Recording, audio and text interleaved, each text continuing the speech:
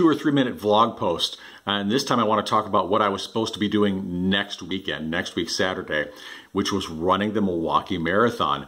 This was going to be marathon number 10 or 11 for me. I was really jazzed about it, uh, but unfortunately, canceled due to COVID 19. In fact, pretty much every race this spring, including some pretty high profile ones like Boston, either canceled or postponed due to COVID 19. And there are a lot of bummed runners out there as a result of that. Now, they did convert the Milwaukee Marathon to a virtual option.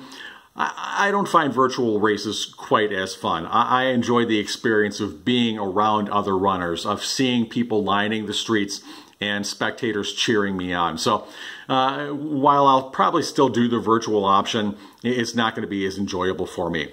Now, this got me to thinking, should we be running marathons right now?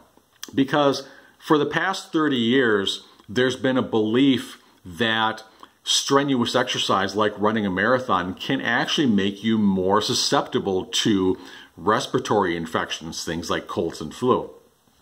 And they thought this because after a period of intense exercise, they would see a drop in T cells, the immune system cells, in your bloodstream for about a 72 hour window. They called that the open window period. And because of this, they thought that uh, especially marathon runners and intense exercisers were more susceptible to getting sick. But more recent research has actually shown that this open window theory is bunk. Uh, the T cells that they see disappearing from your bloodstream aren't dying off the way they thought they were. Instead, those T cells are being moved into vulnerable areas of your body, like your lungs, to help fight off invading infection. So rather than declining, your immune system is actually targeting and improving to prevent infection from colds, flu, and other illnesses.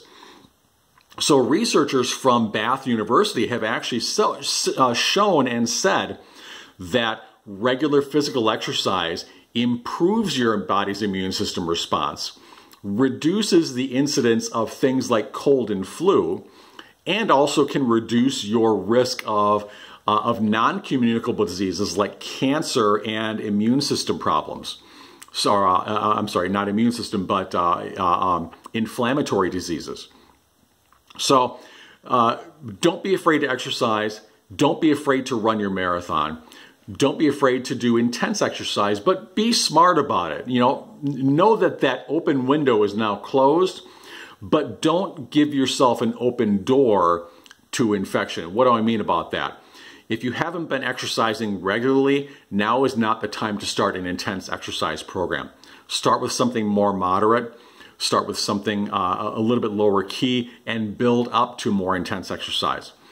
Uh, don't work out with somebody who is showing symptoms of being sick. If you have a running partner and your running partner is coughing and sneezing, keep your social distance or don't run with that running partner at all.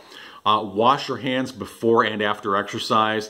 And if you're using gym equipment, make sure you wipe down any equipment before and after you use it. Be smart about your exercise, but know that regular exercise is good for you. For more information, you can go to my website, roysmalley.us, and check out my blog post on this very topic. Thanks.